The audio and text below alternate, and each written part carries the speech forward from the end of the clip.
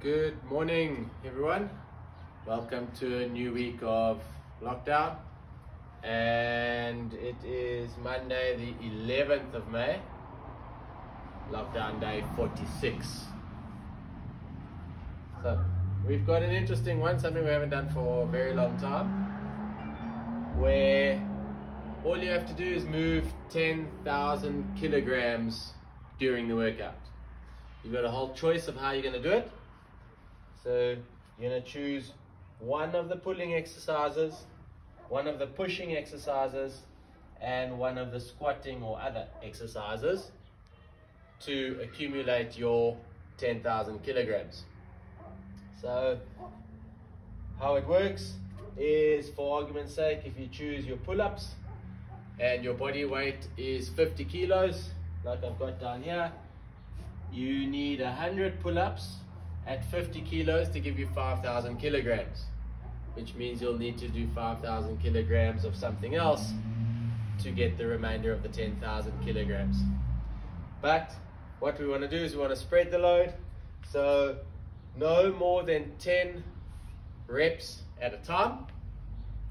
And you must move between the various exercises.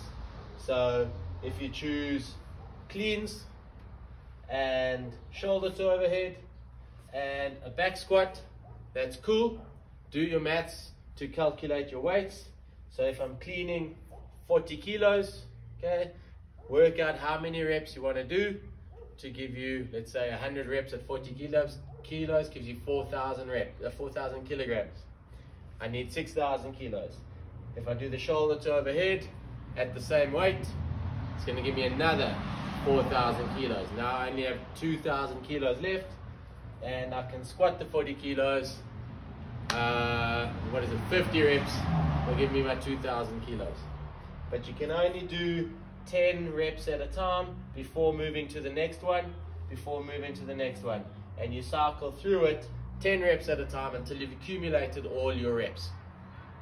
So in your pulling exercises, you've got pull-ups, you can't do the pull-ups, there's no pull-up equivalent unless you're doing the progressive pull-ups. Um, but if you're gonna go bent over rows, that's cool. Deadlifts or cleans. So whether you're using your odd object or your bar, remember your deadlifts are straight up and down. Then your bent over rows is just that movement there. And then the cleans, you can go power cleans. So whatever weight you're using, do the math to calculate it. If you're using a single implement, you'll just have to work out how many reps on the single implement and share it between the arms. If you're going push-ups, you know, dips, you know, shoulder to overhead, you can either do strict press, push press, push, jerk, all of those will apply along with your push-ups and your dips. Um, we've kind of gone push-ups and dips the same way we have with pull-ups, assuming using your whole body weight. Don't get into pedantics and science and all of that. If you weigh 75 kilos, pretend you're doing a push-up at 75 kilos. Yeah. Um, then we go into the squats. Again, front squats or back squats, just holding the weight in front of you. We are not adding body weight into the calculation. So whatever the weight is of your implement, that's the load we're worrying about. We're not adding body weight into the loaded movements. And then front squats, back squats, the burpees for those that don't really have a lot of equipment, that will take into account your body weight so 10,000 burpees for a 100 kilo person is a 1,000 burpees.